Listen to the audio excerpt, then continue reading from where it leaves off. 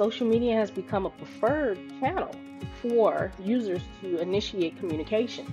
Uh, not responding creates the optics that you ignore your user, right? And this feeling of being ignored can quickly escalate into an actual social media crisis. From Tyler Technologies, it's the Tyler Tech Podcast, where we talk about issues facing communities today and highlight the people, places, and technology making a difference. I'm your host, Jeff Harrell. I'm the Director of Content Marketing for Tyler, and I'm so glad you joined me. Social media. It's become an important communication channel for government. In fact, in the 2020 study we did with the Center for Generational Kinetics, over half, I get this, over half of both Gen Z and millennials said they prefer to get information from their local government via social media.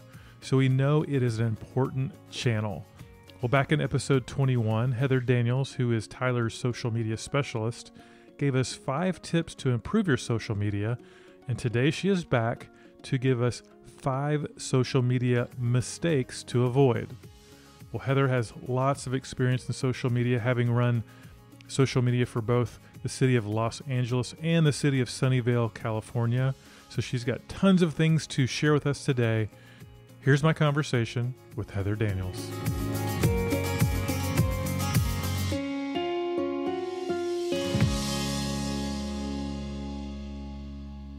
Well, Heather, we're super excited to have you back. I know you were here for episode 21 talking about five tips for social media success. Today, we're going to flip that around a little bit and talk about some of the mistakes people make. And I, am sure you didn't make any of these when you were running social media for the city of Los Angeles and, and some of your other roles. I'm sure you made none of these, right? Oh, of course not. Of course not. I sure didn't. Happy to be here. Thanks for having me back. Yeah, definitely. We want to talk about top five mistakes, right?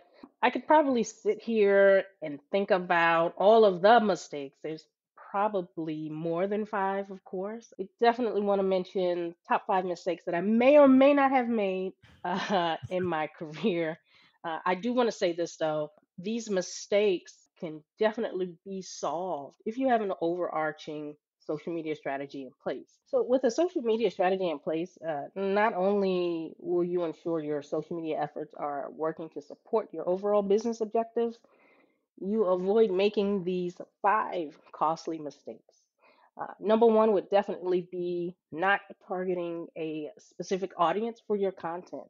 Without a targeted approach to social media marketing, your efforts will be frustrating and fruitless however you want to frame your users, be it customers, consumers, residents, or citizens, if you do not define the characteristics, the demographics, the psychographics of your existing users, it becomes next to impossible to grow your base, boost any sort of conversions, and to increase your brand's awareness. So without those five W's, right? The the why, the who, the where, when, and what, we lose all of the tangible benefits that successful social media creates. And Heather, does this fall into that idea of, you know, hey, one size fits all, and I want to do just kind of a blanket social media and not really thinking about what who your target is, number one, but what they care about. And so then it doesn't really resonate because you're not sharing information that your residents really care about. Absolutely. Absolutely. Awesome. That's great. So number one is making sure you have a well, I guess the mistake is not targeting or not having a targeted approach with your social media. That's great. What's number Yes. two? Number two, cross posting. Posting the same content across all platforms. Uh, in an effort to save time and resources, it's very tempting to reshare the same content across social media platforms but the immediate benefit does not outweigh the long term disadvantages.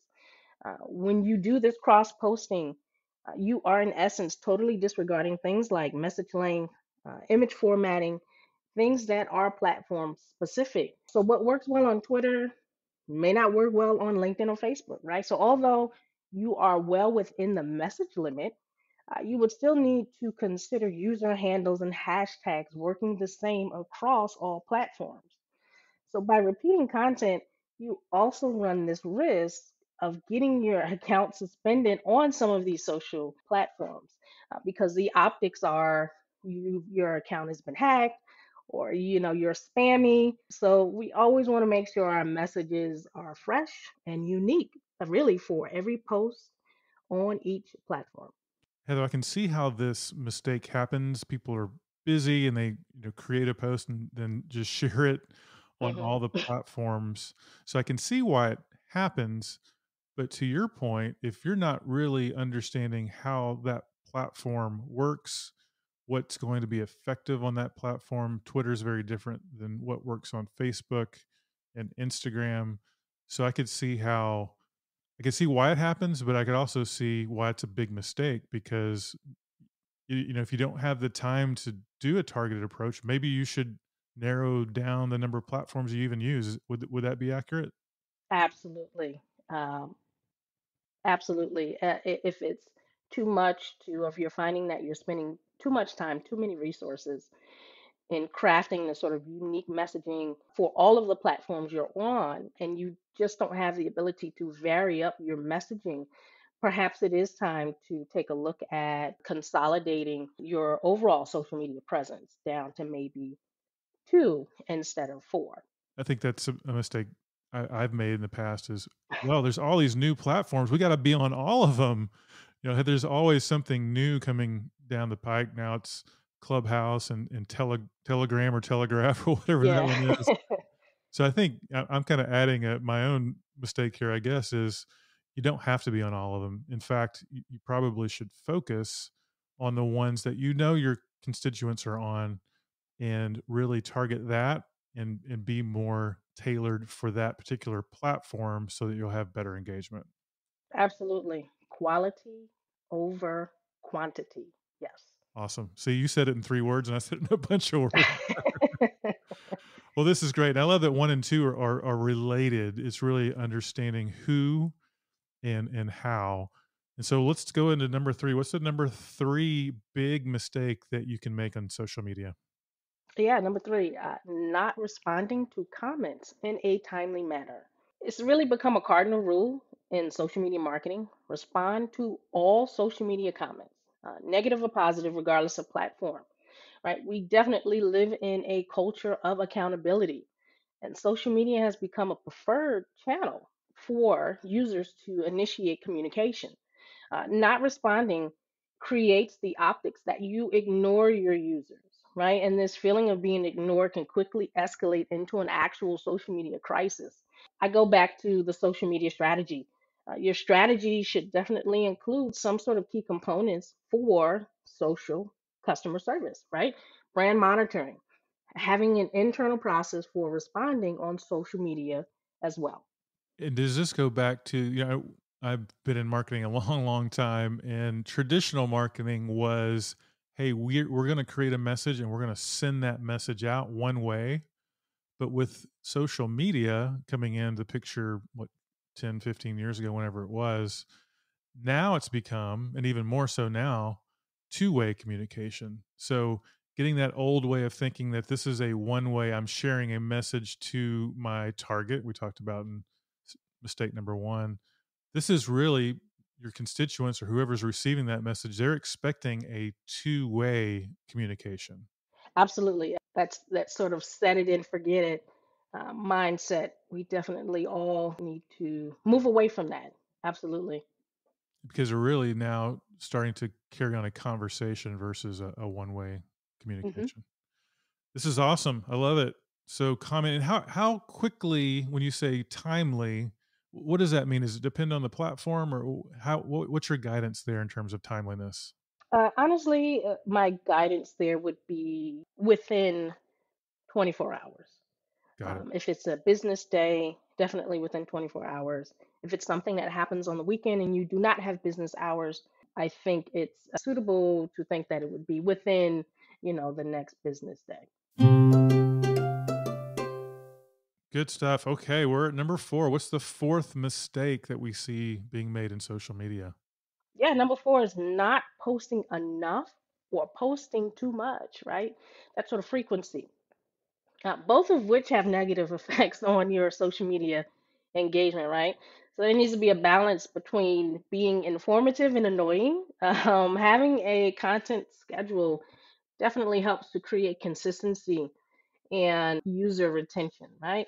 It allows you to see that bigger picture of your content plan and it really helps you maintain a regular flow of content. There are a lot of suggested guidelines on the best times to post and how often, but I would definitely take these suggestions for what they are worth, actual suggestions, instead of following, right, the sort of one size all fits approach. Take the time to really understand the posting frequency that best achieves your overall social media marketing goals. And do they get to that level by doing just testing or what how do you figure out what the right cadence is, right the right frequency is for you? Oh, definitely. You would really need to rely on your analytics. Uh, you want to take a look at your data. Where in the time of day uh, are your users most active? Uh, you want to take a look at the types of posts that do best, uh, that resonate well, and you want to create a formula based on that. And you just pointed something out that I think you're really, really good at here at Tyler is not only how often, but when, time of day. So using that analytics, is that how you f- kind of figure out when to post as well? Yes, it's it's of utmost importance. You want to post when your users are actually online, uh, and not when they are not online, because uh, it's just it's wasted effort, right? And I, my understanding is that some platforms like Twitter, you can get away with posting more often. And there's other platforms, I think Facebook would probably fall into this category, a little less often. Is there a place to start if someone's like, hey, I'm not really sure where to start? Is there just a rule of thumb and then from that they can learn based on analytics? Yeah, I, I think rule of thumb, generally speaking, Twitter is a large place. It's a lot of uh, Twitter chatter going on. And to kind of break into that, you really want to look at the frequency of posting three times, three to four times a day, uh, anywhere between three or four hours apart. Facebook, you want to look at possibly posting twice a day. Uh, and LinkedIn, you can really post once a day. Got it. That's right. Good guidance there. Okay. So either posting not enough or too often. Boy, I've seen those people post too often, and I'm very quick to unfollow because it's just fill up your feed. So I think that one really hits close to home. All right. We're already at number five. What's the fifth mistake that a lot of people make on social media? Yeah. Number five, uh, using only one type of image, right? We all know that content posts with relevant images receive more engagement, but we want to be careful to not overuse the same type of image, right? So relying too much on stock photos, for example, there's that risk that other people are going to use the same photos within the same platform around the same time. So you you lose that sort of uh, uniqueness, right?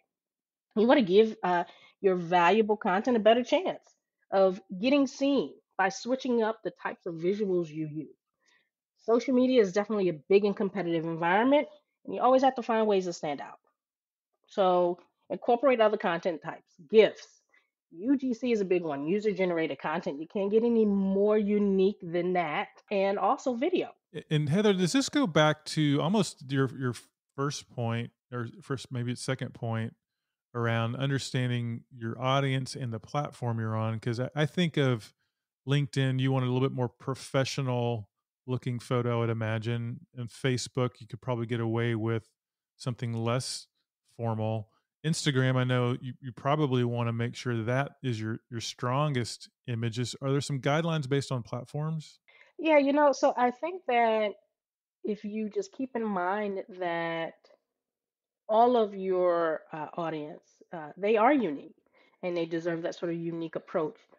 Invest in a professional. Stock photography is great. Yeah, there's a use there's a use for it, uh, but you definitely want to, like I said, incorporate other image types. Is there necessarily a guideline? No, it's really going to depend on your brand, right? The tone that you want to give across on social media. Build your content pieces around your image. Your image should be able to tell your story without the content being there. If the image does not do that, then it's not the best image for your content post. I love that. So I think a lot of times we we think of image as an afterthought. Oh, I gosh, gosh, hmm I need to have an image with this post.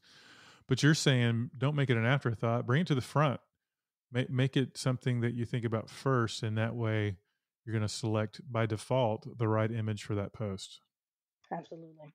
Love that. That's great. Well, that's five, but if anyone listens to this podcast, know we love to add a bonus. And I don't want to put you on the spot, Heather, but is there a, a bonus that we can offer to the listeners?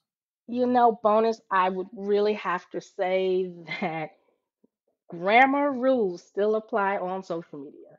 You mean I can't get away with uh, the new lingo and, and misspellings and deleting vowels and things like that that are popular on text No, no, not unless your audience is used to that, right? So if you if you have an audience that is, you know what, I'm not even gonna say that because that's not a best practice either, Jeff. Let's back on up. Okay, so no, you threw me with that one. No. So grammar rules still apply on social. Uh, you don't have to be official, right, with AP style or anything like that. Uh, but you want to make sure that you are spelling everything correctly, that your tense is correct, uh, and you definitely don't want to have any typos in your social media posts. I can't tell you, Heather, the number of typos or people that don't know the difference between a part and apart. Some of those pet peeves. I think this is a good one. I'm not the greatest speller in the world, which is why I use tools to help me. But I think hmm this is a great one because I think that can be a mistake people make. They think, oh, it's just social media. People will forgive it, but it's still a professional channel for government agencies, right? Absolutely. Awesome. Well, love it. That's five plus a bonus. We'll go through those again real quickly. Number one, not being targeted enough. Don't use a one size fits all or blanket when you're thinking about your social media target. Number two, using a one size fits all approach to your platforms, cross posting the same content across different platforms. In fact, if you're doing that, you may want to think about narrowing the number of platforms that you use. Number three, not commenting quickly enough, remembering that this is a two way communication and people expect a reply. And th- number four is either posting too often or not often enough, understanding the platform you're using, best practices there, and then testing based on your analytics and seeing what tends to resonate. And not only how often, but when as well. That's a great one. Number five, using the right image to tell the story based on the platform. I love that. And our bonus grammar, getting a second set of eyes. We call that at Tyler SSOEing. I think having a second set of eyes on your social media post is a great idea. Heather, this is awesome. Really appreciate all these great things to avoid. Yeah, it was great. Thanks for having me. Uh, hope to be back. Yeah, if someone wants to get in contact with you, Heather, what's the best way for them to do that? Because I'm sure there's people that may have follow up questions for you. Yeah, LinkedIn is the best place. So it's at uh, HL Daniels, D A N I E L S. You say HL Daniels? Mm-hmm. Perfect. Awesome. Well, Heather, thanks again. Appreciate your expertise and insight in helping us understand some things to avoid in social media. Thanks, Jeff. Well, thank you, Heather, for your expertise, your wisdom, and your insight. I will add the five mistakes plus the bonus to the show notes. And remember, we have new podcast episodes dropping every other Monday. So please subscribe. We have lots of things planned throughout this summer. So, again, this is Jeff Harrell for Tyler Technologies. Thanks again for joining me. We'll talk to you soon.